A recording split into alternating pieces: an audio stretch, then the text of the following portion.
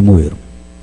Doutor Roberto, os números já esclarecem através dos extratos, da questão de informação contábil, do, das, das prestações de contas, já esclarece.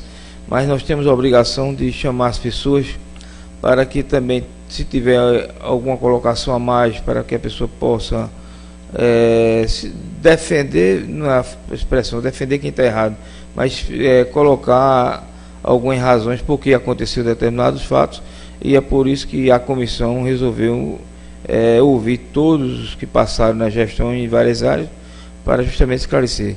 Sabemos já que, pelos documentos, que o seu período, os quatro meses, foram recolhidos a parte patronal e a parte do servidor. O senhor confirma se foi, que foi tudo recolhido? É uma das coisas que a gente sempre procurou, é, desde a gestão anterior de Luiz Remonte, que nós fomos também secretário, foi cumprir com as obrigações. Na época só tinha a Previdência Pública, né, só tinha o INSS na primeira gestão. Na segunda a gente encontrou já a Previdência Municipal. Só que adendo, eu sempre, na época de Luiz Remundo, ele convocou uma reunião com os secretários para discutirmos é, uma criação de uma Previdência Municipal. E, na época, a maioria dos secretários assessores deles fomos contra e que era melhor deixar realmente a Previdência Geral, o INSS, continuar como a Previdência dos servidores municipais.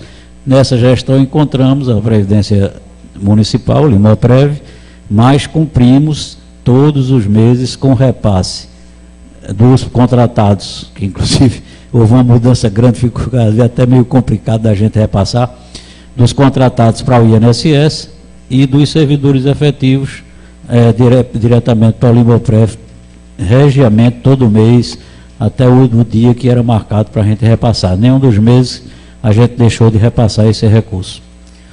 Doutor Roberto, como esclarecimento para nós da comissão, uma pergunta. Esse repasso, quando o senhor, enquanto o senhor era secretário, o senhor é ordenador de despesa do fundo, esse repasse era feito por sua pessoa independente de secretário de finanças ou tinha alguma dependência esse repasse? Não, era, o fundo era gerido realmente pelo gestor municipal de saúde e nós tínhamos duas senhas que era é, o diretor do fundo e o secretário que é quem dava é, a senha final para o repasse do recurso. Em cada um a gente tinha, é, porque você podia ter uma viagem, alguma coisa, então, poderia, por exemplo, o prefeito era o, um ordenador no meu lugar se eu não tivesse aqui para algum repasse.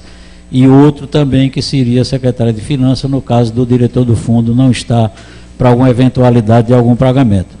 Mas, na época que nós passamos aqui, todos os repasses foram, eram feitos.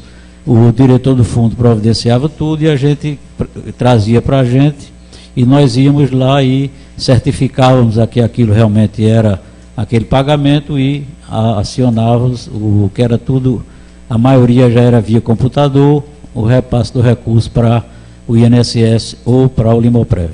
Então, para nós entendermos, é, tanto a parte patronal como a parte do desconto do servidor era uma determinação do secretário de saúde. E, e não precisava nem, nenhuma interferência do secretário de finanças para acontecer isso. Não, ao, pelo contrário, a Secretaria de Finanças é a obrigação, vamos dizer assim, que tinha é, com a Secretaria de Saúde, seria aquele repasse dos 15% da receita própria do município. Mas aí no caso de receber, né? Isso a gente recebia. De pagar era Exato, só depender do secretário de é, saúde. a gente só usava da, da, do nível central a comissão de licitação. Todas as outras gestões financeiras eram diretamente é, pelo Fundo Municipal de Saúde. É, para você entender a pergunta, é porque houve alguma dúvida em referência a outros secretários de saúde de outras gestões, é, no sentido de dizendo que não foram repassados por culpa do financeiro que tinha que dar o aval. O financeiro chegou aqui e disse que não tinha esse aval. E aí eu estou perguntando para ter, nós termos uma formação melhor sobre o assunto, justamente a pergunta da sua pessoa foi essa.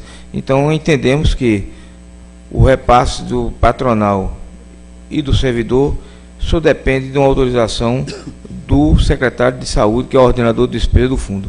Exatamente. Nós é, procuramos sempre é, ver o que é que nós tínhamos de disponibilidade, justamente para não ter, ultrapassar isso aí, para não ter que solicitar algum recurso extra. E nós realmente nunca solicitamos, que sempre foi autorizado diretamente pelo gestor municipal de saúde. É, vereadores Marco Sérgio, Natália, alguma pergunta? Foi bem claro, esclareceu as nossas dúvidas. Quero agradecer a sua presença. Agora, se quiser fazer algumas considerações aí, pode ser feita à vontade. Não, estou aqui à disposição de vocês. Acho que a administração, já fui secretário duas vezes, a outra também foi bem transparente. E nós estaremos sempre à disposição de algum esclarecimento que a Câmara ou a Prefeitura ou qualquer órgão necessite. E obrigado a vocês, bom dia. Eu vou pedir cinco minutinhos que ele está terminando de fechar ali para que possa o senhor conferir o seu depoimento. Se tiver alguma coisa que não concorde do que foi colocado, é, nós corrigimos.